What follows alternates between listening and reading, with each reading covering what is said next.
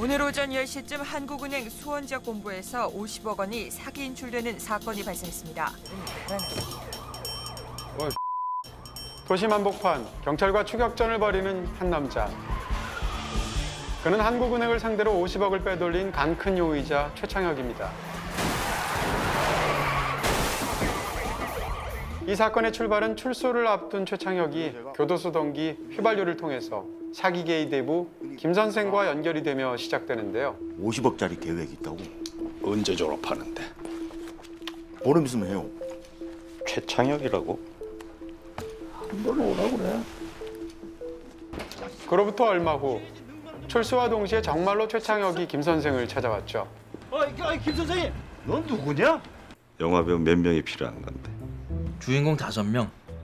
기술자는 우리 휘발유 형이 해줄 거고 IQ 뭐 그렇다 치고 EQ 조금 되는 애들로 이왕 왔으니까 대충 술이나 한 잔 먹고 가야겠다. 남의 돈 50억 먹기가 그렇게 쉬운 줄 아니? 장소를 안 물어보시네 한국은행인데 이거 내가 요점 정리한 건데 돌아서던 김 선생은 흥미로운 제안에 솔깃하게 됩니다. 이거 비밀인데 한국은행 금고에 뭐 들어있는지 아시죠? 현금, 주식, 채권, 양도성 예금, 증서, 기업, 어음, 금괴까지 하실 거면 오시고 안 하실 거라도 오세요 오케이? 오케이 결국 김 선생은 최창혁의 큰 그림에 발을 담그기로 하는데요. 내 최창혁입니다 홀미 얼매. 얼매 서글한 인상으로 사기를 치는 얼매를 시작으로 해서 환상적인 위조 지폐 전문 휘발유, 김 선생님 알지? 아 이거 4년 전에 명퇴하셨잖아. 그리고 작업 전문 제비까지 최 선수 취직 축하한다. 감사합니다 우린 또 이력서가 되니까 그렇게 성격도 사기 방식도 서로 다른 다섯 명의 꾼들의 본격적인 담합이 시작되던 날. 하지만 둘째가라면 서러운 사기꾼들이 모인 자리. 추가의 몫을 챙기려는 은근한 담합과 밀담이 서로 오가는데요. 야, 너 나랑 똥구멍 맞출래? 똥구멍? 야, 김 선생 같은 빠꼬미를 어떻게 수술시키려고? 우린 전부 팀인데. 팀은 무슨 접시끼 그냥 알고 지내는 사이지. 알고 지낸 사이? 어떡하자고? 어떡하자고? hit and run. 그렇게 서로의 패를 숨긴 물밑 작전 개시. 무장 강도로 변장한 얼매와 제비가 문을 열고 아 지점장님 되셨고요 자, 상부에 보고는 해야 되겠지만 금융감독원 직원으로 분한 휘발유가 당좌수표 샘플 빼오기까지 성공합니다. 오 이거 먹어주는데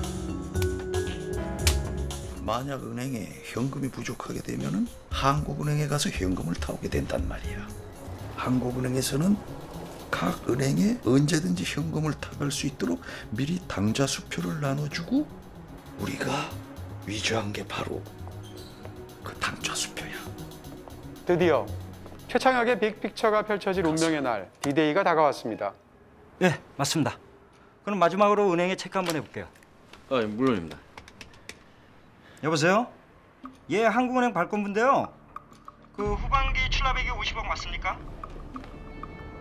50억 맞습니다.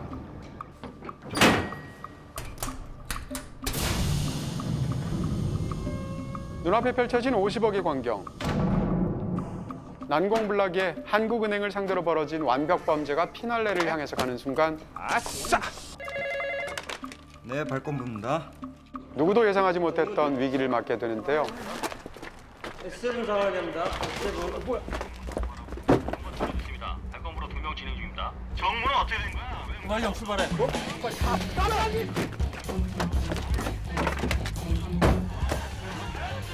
열심히 주랭랑을 쳤지만 교통사고로 현장에서 체포되고만 얼매. 그리고 경찰을 피해서 달리던 도주 끝에 목숨을 잃고만 최창혁.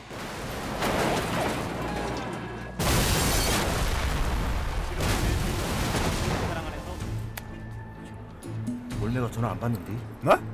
아니 그 차, 차, 차, 창혁이랑. 뭐 일이 잘못됐나 봐.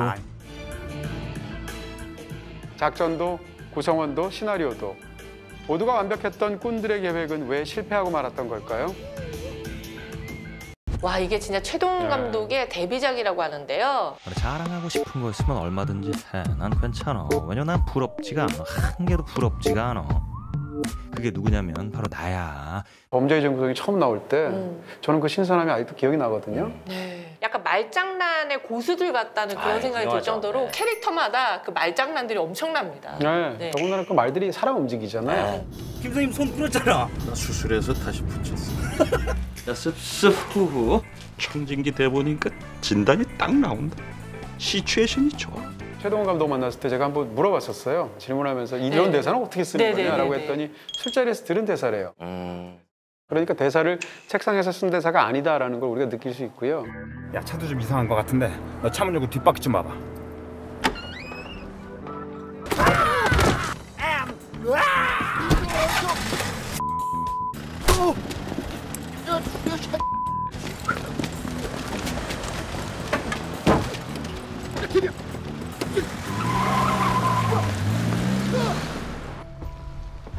너희들이 날 속여? 날? 난 정말 아니란 게요. 내 눈 똑똑히 봐.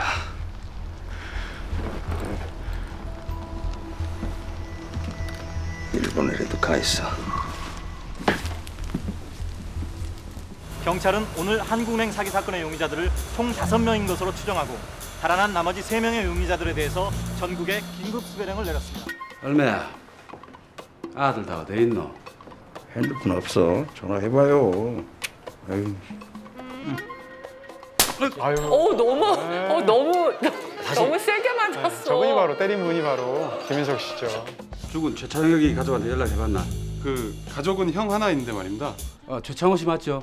예. 우리 경찰이에요. 어, 최창혁이가 한 한 달 전쯤에 말이죠. 이 양반 이거 모르고 있었구만. 아니 뭐 뭐 때문에 그러시는데? 최창혁이 죽었습니다. 예, 확인하시고.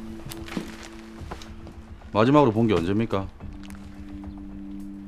한 두 달 전쯤 되는데. 가만히 있어봐. 내가 그 근사한 거 하나 메이킹 중이거든. 요거 되면은 우리가 사기로 한 그 땅 있잖아. 그거 사자 한 방에. 한국은행 얘기 같은 거 한 거 없어요? 아니요. 사실 박신양 씨 하면 그 전에 뭐 약속이나 우리가 편지 이런 작품 굉장히 좀. 약간 멜로 연기를 많이 봤었는데 이 영화에서 되게 좀 이미지 변신을 하신 게 아닌가라는 네, 네. 생각이 듭니다. 저한테 네 죄가 뭐냐고 물으신다면 이 여자를 만나고 뭐 좀 마실 것 좀 없어요? 좀 비싼 걸로? 아 나 아까 뛰다 허리를 다친 것 같아. 아 잠깐만 누워봐요. 아. 싫어요. 저는 최동훈 감독이 배우랑 관련해서 정말 뛰어나다고 생각하는 건 우리가 이미 다 아는 배우. 우리 이미 30년간 봤기 때문에 스타 중에 스타고 다 안다고 생각하잖아요. 근데 타짜에 나온 김혜수 씨랑 생각해 보세요. 그럼 그 배우한테 새롭게 빛을 주는 거잖아요. 네. 전지현 씨도 마찬가지고 이 영화의 염정아 씨도 마찬가지입니다. 사기 전과 이범이면은 최소한 사기를 20번 이상 짓단 얘기 아니야? 어? 그래서 지금 사람 불러다 놓고 일사후퇴 때 얘기하자는 거야?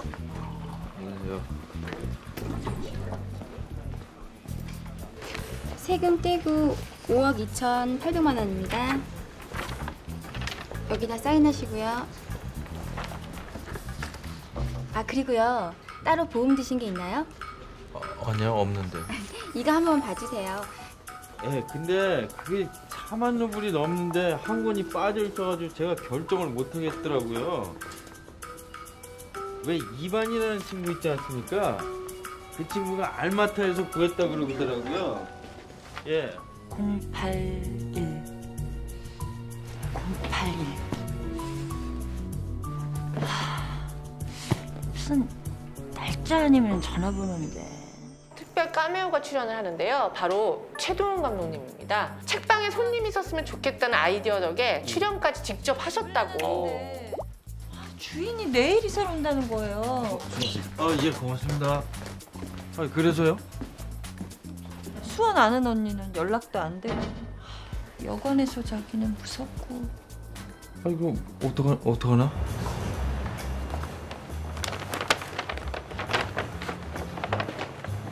정말 더 이상 도와드리기가 좀 힘듭니다. 쓰레기 같은 놈. 비리 경찰 주제.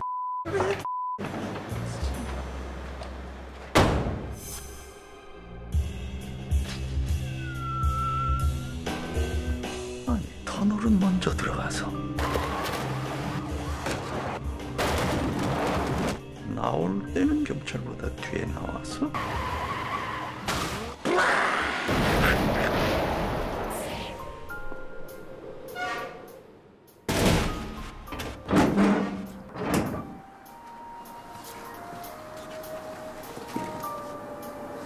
음, 발자국이 두 명? 하나가 창욱이 거면 음, 형이 있었지 최창욱? 최창욱?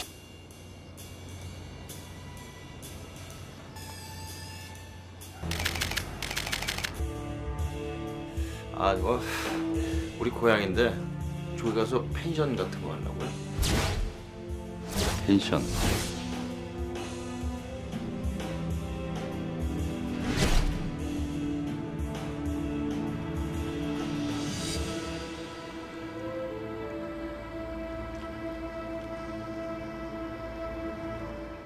예전에 창혁이하고 뭐 연애도 하고 그랬다면서.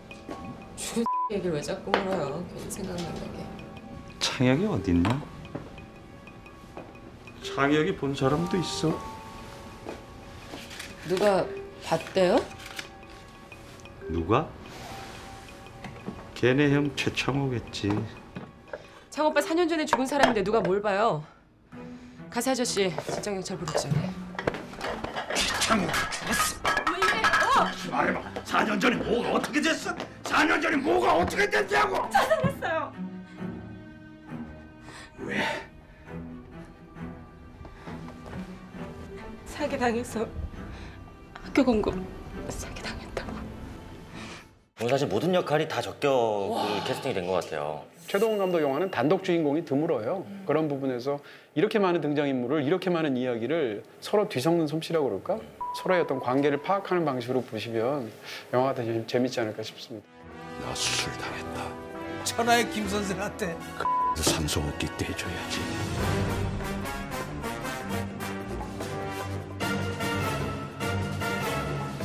이빨 가져온 20% 줄게 30%?